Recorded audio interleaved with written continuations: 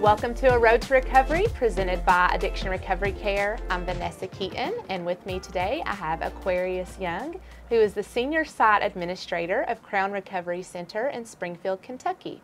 Welcome, Aquarius. Thank you.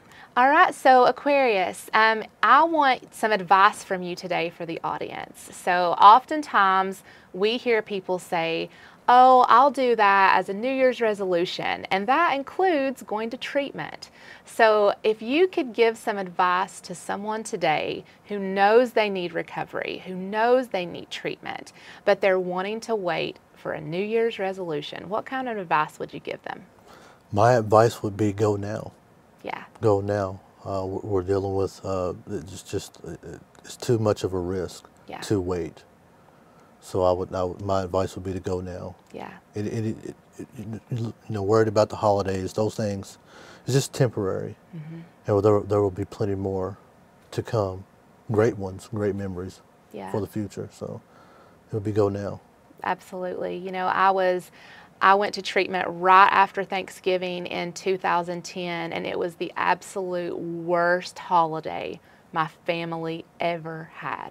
Yes. You know, and then I was in treatment at Christmas and even though I wasn't with them, everyone was at peace. They knew I was safe. And we have had so many good years after Absolutely. Absolutely. that. Yeah. So go now. That is some great Don't, advice. don't wait at all. Go now. Yes.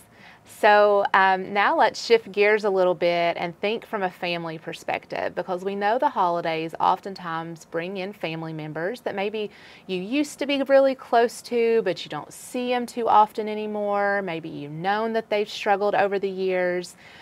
If you were a family member and someone showed up to your Thanksgiving meal or your Christmas meal this year and you knew that they needed help, or maybe they caused a bit of a ruckus at the family gathering, what kind of advice would you give to a family member on how to approach this person?